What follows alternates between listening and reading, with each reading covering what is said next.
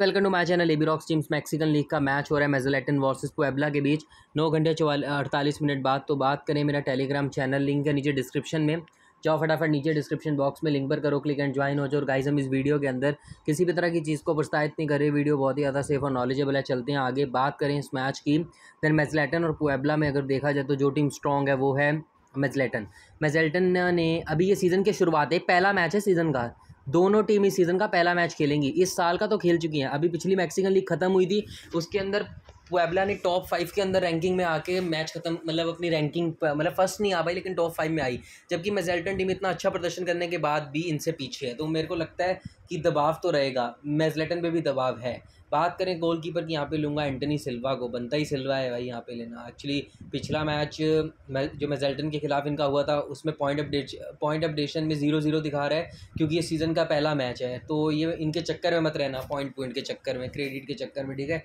आगे से अगर बात करें तो यहाँ पर है विद्रियो देन आपको बताइए नेस्टर विड्रो कितना बढ़िया खेलता है। यू you नो know, आपको पता होना भी चाहिए क्योंकि मेरे को इन दोनों टीम्स के बीच पहले भी मैच हो चुका है पिछले सीज़न अभी कुछ ही दिन कुछ ही महीने एक ही आई थिंक पंद्रह बीस दिन पहले।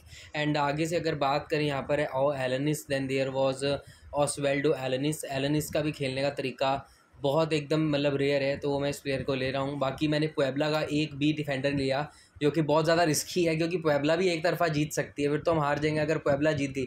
तो मैं एक तरफा रिस्क ले रहा हूँ, ठीक है? तो आगे से अगर बात करें वेरगस की देन कार्लोस वेरगस को भी मैं यहाँ से लूँगा। वेरगस की जगह आप चाहें तो अपनी मनपसंद का कोई भी प्लेयर ले सकते हैं, ऐसा ज़रूरी नहीं कि Vargas is not a must pick must pick नहीं है, जो मस्ट पिक होता है वो मैं आपको बता दूँगा। आगे से अगर बात करें फैबियन की फैबियन पेनल्टी टेकर है तो मार्को फैबियन के जितने भी गोल्स होते हैं एटलीस्ट कई गोल पेनल्टी के भी करता है। तो ये पेनल्टी टेकर है, तभी मैं इसको ले रहा हूँ, जबकि फैबियन एक बढ़िया ऑप्शन है वाइस कैप्टन के लिए, क्योंकि असिस्ट बहुत अच्छी करता है। और जो प्लेयर असिस्ट करेगा, वो पॉइंट नेचुरली अच्छे देगा। एंड मेराज की बात करें यहाँ पर रॉबर्टो मेराज रॉबर्टो मेराज में रॉबर्टो मेराज डिफेंडर से थोड़ा ज़्यादा अच्छा खेलता है, इसलिए मैं ले रहा हूँ। क्योंकि पहले मैं इसकी जगह डिफेंडर ले रहा था, लेकिन एक तरफा नहीं जाना मैंने मैंने जैसे कि आपको बताया। एंड एम रोजो की बात करें यू नो मैक्सीमिलियनो रोजो का तो खेल आप जानते ही हो, खेल करता है ये।